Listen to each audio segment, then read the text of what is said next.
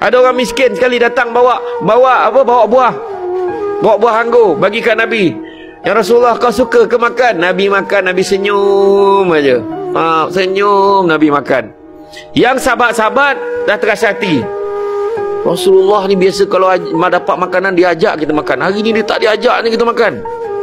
Apa cer? Kan pahal tak ajak ni. Lepas tu Nabi makan. Sampai sudah Nabi makan. Kemudian orang miskin ni yang bagi kat Nabi ni rasa senang hati. Dia pun jalan.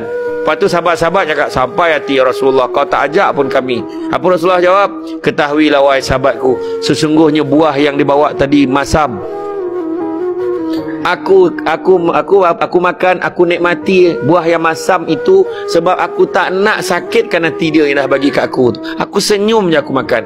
Dan aku tak nak kau datang nanti kau cakap masamnya kecil hati dia. Dan aku tak sanggup tengok sahabat aku makan buah yang masam. Tengok macam tu sekali gitu ya? Cuba kalau kita. Isteri kita masak masin. Macam? Nabi panggil isteri dia Ya Mumairah Wahai pipi kemerah-merahan Cubalah kita buat macam tu dengan bini kita. Wahai pipi, tak apa pipi kau ni. Mai sini ha macam ha. Kita tak tahu pipi dia macam mana kan. Batai lah. Kan? Kan? Lepas tu isteri Nabi datang, ada apa ya Rasulullah? Dia tanya Nabi kan.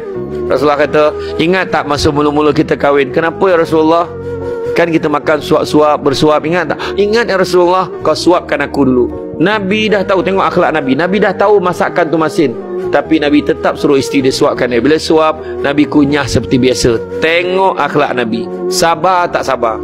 Kemudian, bagi aku pula suapkan kamu. Bila Nabi suap, masa Nabi kunyah, dia senyum. Nabi buat muka macam biasa. Nabi tak buat muka masin, tak ada. Bila Nabi suap dekat isteri dia, masuk dalam mulut, langsung dicapai pinggan tu buat ke dapur. Ya Allah, masinnya. Cuba kalau kita. Kau sini kau. Kau sadar tak berapa darah tinggi aku ini? Oh, mak. Punya garang kan. Oi, tak mengalah betul ayat kan. Cubalah kan elok lembut. Orang perempuan ni penat. Perempuan ni penat kadang-kadang. Dia kadang ter termasam, termasin. Biasa tu.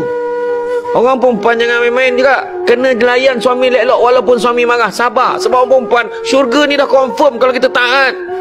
Betul. Jangan sampai suami kita lagi suka makan di kedai tom yam daripada makan di rumah. Ha.